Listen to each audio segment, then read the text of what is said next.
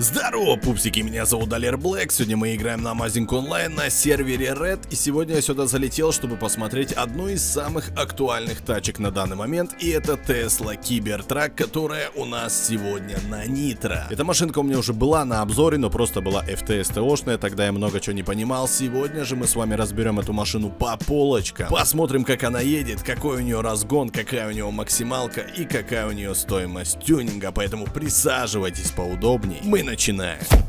Ну и хотелось бы начать с внешнего вида этой машины. Это абсолютное безумие. И совершенно недавно Илон Маск все-таки презентовал эту машину. Она наконец-то начала доставаться людям. Люди на ней катаются, кайфуют. И у нее есть какие-то изменения по внешнему виду. У нас же в Амазинге внешний вид остался старым. Вот каким его представили еще давным-давно. И сразу хочется отметить цвет этой тачки. Зеленый сюда абсолютно не подходит. И диски эти сюда тоже не подходят. Потому что эта машина должна быть на стоковых дисках. Это ее отличительная особенность особенность. И обязательно она должна быть в сером цвете. Но тем не менее, давайте взглянем на карпас. Владелец Эндрю Сопрано, спасибо ему огромное за предоставленную тачку. Модель авто Tesla Cybertruck. Целка 85%, госка 30 миллионов рублей. Количество владельцев 13. Госномер NMT 98 3 восьмерочки. Улучшение двигателя. Stage 1, сигналка, антирадар и нитро присутствуют. Батарея 100 киловатт плюс дополнительная 150. И в целом это, конечно, больше минус, чем плюс, потому что в Амазинге, опять же, заправлять такие машины совершенно неудобно. И сразу хочу сказать, откуда же вы можете выбить эту машину. Пацаки, исключительно с контов. По-другому эту машину вы не найдете. И в стоковом состоянии вы можете купить на Ашике эту машину от 30 до 40 миллионов рублей. Опять же, все зависит от вашего сервера, потому что на каждом сервере своя плюс-минус экономика и цены немножечко отличаются.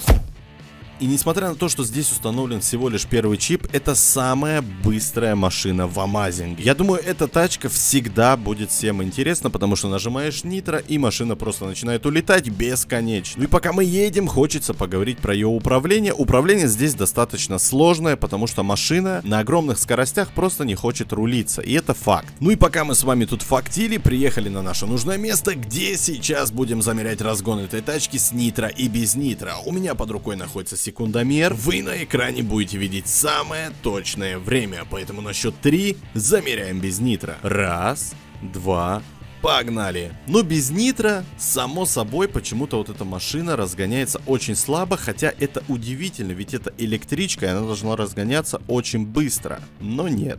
Стоп, максималка 361 километр в час, пацанята. Ни у одной тачки нет такой максималки, и это первый чип. Я, если честно, пацаки, не в курсах вообще, как эта машина едет на третьем чипе, но по моей памяти вроде как 399. Но нас сейчас интересует раз разгон. У нас установлена нитро, поэтому готовимся. Предыдущий результат у нас был 11 секунд. Зажимаем наше нитро и на счет 3. Раз, два, погнали. Тут, конечно, совершенно другое дело. И это что? Что? Что? Стоп.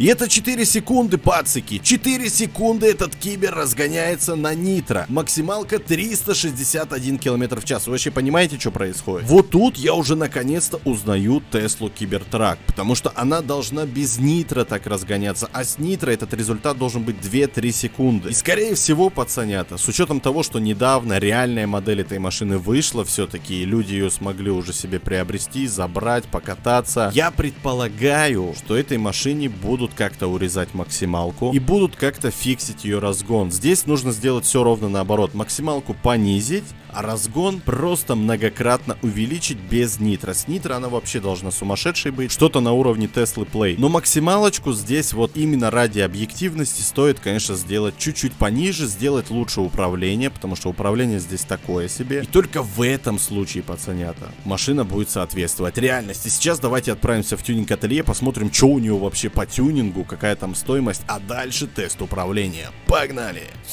Залетели с вами в тюнинг ателье и конечно же мы с вами сможем посмотреть только стоимость колес и самые дорогие диски обойдутся нам в 671 тысячу рублей и это просто сущие копейки учитывая госстоимость этой Теслы. 30 миллионов рублей это действительно очень много я почему-то рассчитывал что приеду и увижу цифру в миллион двести но на Реди в натуре цены либо низкие либо на эту машину просто сейчас вот такие маленькие цифры. Идем далее и это фары. Самые дорогие фары обойдутся в миллион миллион триста. Вот тут уже верим. И счастье, пацанята, я смог поменять цвет на этой машине. Именно вот так должна выглядеть Tesla Cybertruck. И это очень подходящий цвет. В жизни эту машину никто не красит другие цвета, потому что ее кузов состоит из определенного металла, который невозможно просто-напросто покрасить. Поэтому выкатили с вами с тюнинг ателье и давайте отправимся на тест управления и решим, что с этой тачкой делать.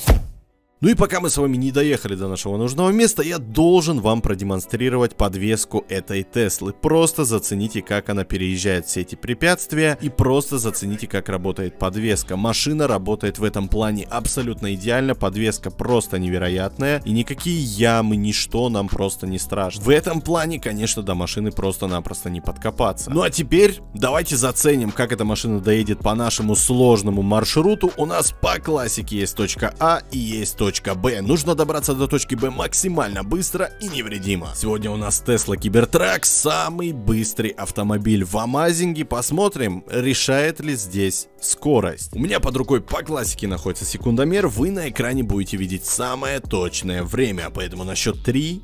Раз, два, Погнали! Тут, конечно, будет немножко сложновато, потому что всегда после каждого поворота придется прожимать нитро, потому что разгон у этой машины без нитро абсолютно никакущий, абсолютно дохлый.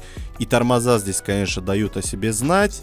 Но Давайте посмотрим, за сколько она приедет. Я вангую, что это будет 23 секунды. Почему-то я в этом уверен, и мы с вами врезались. К сожалению, стоп. И это либо 21, либо 22 секунды, но был ущерб, пацанята. Мы с вами врезались, без этого никуда, потому что машина длинная, во-первых. Во-вторых, она вообще не рулится. Вот вы не поверите, но эта машина просто-напросто не хочет рулиться. Но, пацаки, это не отменяет тот факт, что эта машина просто офигенная. Максималка 361 километр в час. Нету такой машины просто не существует ни одного автомобиля в Амазинге, которая бы смогла обогнать Кибертрак. И попрошу заметить, что это первый чип. Это не третий, это первый чип. На третьем эта машина едет под 400. Не 400, но под 400 это точно. Я прям гарантию вам даю. Было бы, конечно же, интересно посмотреть, сколько и чего влезает в багажник этого автомобиля, но этого мы с вами сделать не можем, поэтому если у кого-то из вас есть Кибер, обязательно напишите в комментарии, какая вместимость его багажника, потому что людям 100% 100% будет это интересно, как и мне. Ну и как я предположил ранее, пацанята, скорее всего эту машину ждет некий ребаланс скорости и ее разгона. Как я говорил ранее, нужно сделать маленькую максималку, чуть-чуть поменьше и сделать супер быстрый разгон. Тогда машина будет соответствовать. Сейчас же это просто-напросто неприемлемо. Но опять же, это просто мое мнение. Я бы сделал именно так. Больше про эту тачку мне сказать абсолютно нечего. Пишите в комментарии, у кого есть такая машина, какая у нее максималка на третьем чипе чипе. Нравится ли вам эта машина? Какая стоимость этой тачки на ваших серверах? У меня же на этом все. Всем спасибо за просмотр.